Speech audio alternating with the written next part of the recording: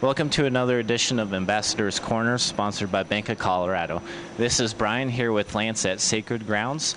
Uh, Lance, could you tell us how long you've been here? Uh, Brian, we officially took over on May 1st of this year, so we haven't been here for that long. Although the business has been established for over 10 years as Sacred Grounds, formerly Bagel Bites, but we decided to keep the name Sacred Grounds. So. Yeah, it's a very well known name around here. And actually, looking around, it looks like you guys have done some remodeling and stuff like that. Can you tell us a little bit about that? Sure. Um, well, we tried to keep it somewhat the same uh, as the original Sacred Grounds. We had done some aesthetic stuff as far as the countertops go. You can see the differences in that. We put up a couple of TVs in case there's a big game on or something like that. No sound, but we have the music going, uh, and also the booths we have put in also for people to sit with their laptops or with their families to have some lunch or uh, whatever they choose to do. Okay. All right.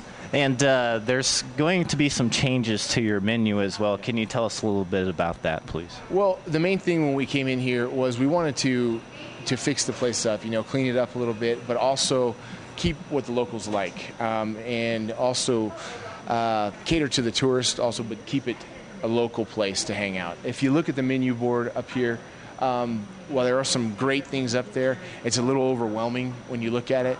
And so, what we're looking to do is just to simplify things a little bit um, and just make it so when people come in here, they can pick what they want a little bit easier than in the past. Okay. So, so just making it easier for yeah. the customer. Yeah, yeah, the chalkboard. So, we're just going to erase it and um, just start fresh, is what we're going to do.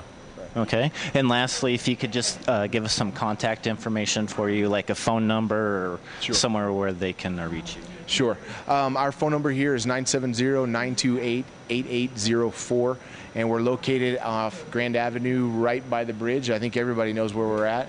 Uh, so, anyway, you can contact us at sacredgrounds2010 at gmail.com.